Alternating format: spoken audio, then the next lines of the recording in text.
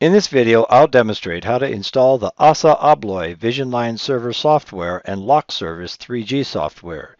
These two programs are required to interface with the Ruckus IoT server.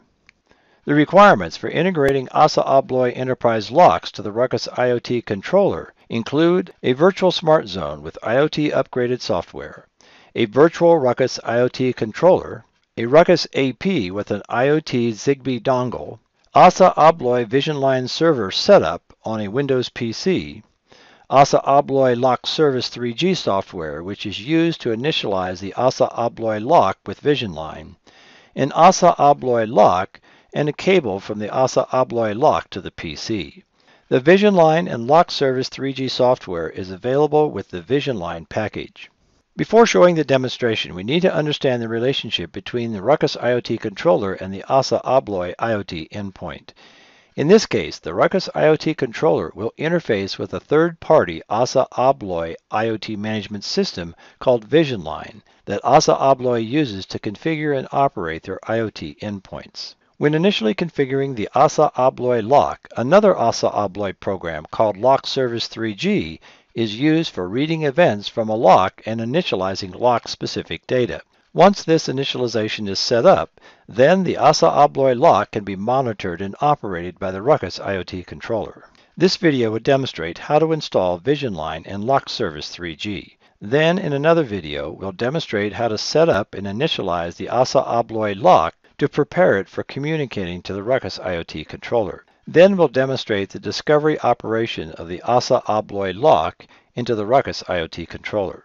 To do this, we need to create a Windows-based Vision Line server. There is a Vision Line installation guide that you can use to guide you through the Vision Line installation. This is part of the Vision Line software package. So what we're going to do now is to install my Vision Line software. So I'm going to go to the folder where I have the software, and I'm going to click on the file, says welcome to the Vision Line Setup Wizard. I'm going to hit next. I'm going to take the default location.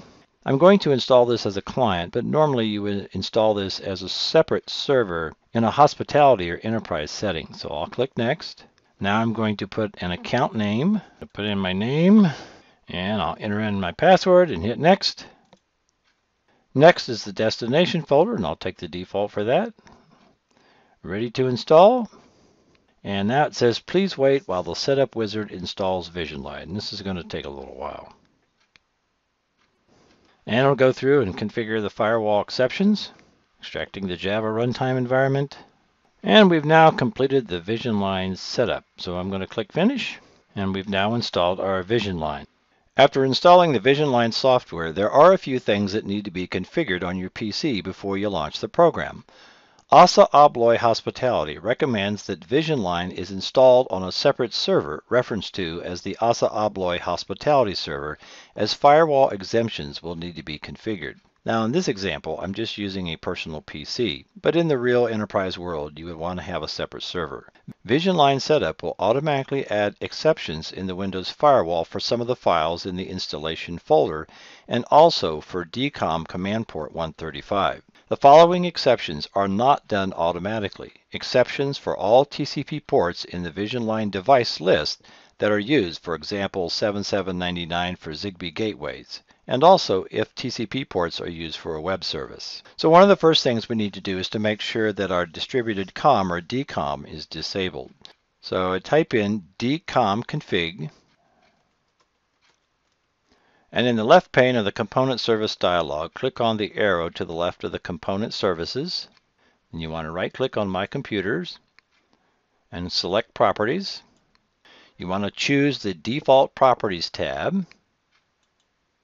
And you want to unmark the checkbox next to Enable Distributed COM on this computer. So I'll uncheck that, and then I'm going to hit Apply. And you'll get a warning for that. And then we'll hit OK. And then we'll close that out. Next, we need to make some firewall exceptions. The following items must be manually set up as firewall exceptions. The PMS service device host encoders, Zigbee gateways, and other applicable device web service if any web service option is available. These can be added before or after the installation. So to do this, we'll go to our control panel We'll select Systems and Security, and we'll select Administrative Tools. We'll double click on the Windows Defender Firewall and Advanced Security, and then we're going to click on Inbound Rules. Then we'll select the Action button, and we're going to choose New Rule. We want to check the button by port, and then we'll click Next. And then we want to make sure that our TCP is checked and also specific local ports. And this is where I would add in my specific local ports. So I've selected 443, 7799, and 1580. Then I would select Next, and I want to make sure on the action window that the button Allow Connection is checked. Then I would click on Next, and I want to make sure that all three of these checkboxes are checked for domain, private, and public. Then I'll click Next. So then if I had a web service, I could type that in, and I'll just put in the word web service, and then I'll click on Finish. And that completes that operation. The next thing I want to do is to configure my event log. If the event viewer has not been configured to overwrite events, this needs to be configured. So I would go to my control panel and under System and Security, I would click on that. I would go to my Administrative Tools and then I would click on Event Viewer. I would expand the Windows logs on the left and then I'll click on Application. I would then go to the Action button and I would choose Properties. And what I want to make sure is that when the maximum event log size is reached, that you'll overwrite events as needed. So I just wanted to make sure that that was set. In some cases, you may have that set on your, your PC, and on other cases, you may not have. So we don't have to do anything on that, but I just wanted to show that to you. Another thing that I need to make sure is that if lock application starter is running, it must be stopped. So I would then click on my administrative tools from my control panel and I'll click on services. I would then scroll down and tag my lock application server and I would right click on that and I would want to make sure that this is stopped. In this case it's already stopped so I don't have to stop it but you just want to make sure that if this was running that you would want to stop it. So at this point, we've gone through and manually configured some exceptions. Once again, you can always refer to the Vision Line configuration guide if you have any questions, or if you need to go back at a later time and enter more TCP ports or configure other exceptions.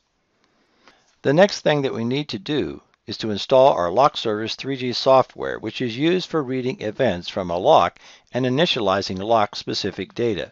These two programs, VisionLine and Lock Service 3G, are going to be working hand in hand.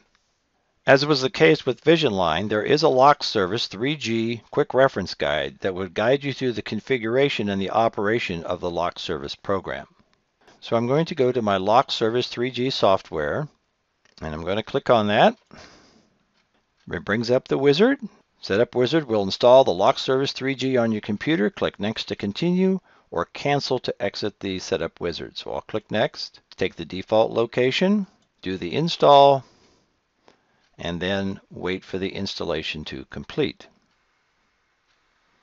So as you can see, that took a that didn't take too much time. So it says completed the lock service 3G setup, and now we're going to finish. So this completes how to install Vision Line and Lock Service 3G. We have another video on how to use these two programs together with the Ruckus IoT controller to configure and operate your ASSA ABLOY locks.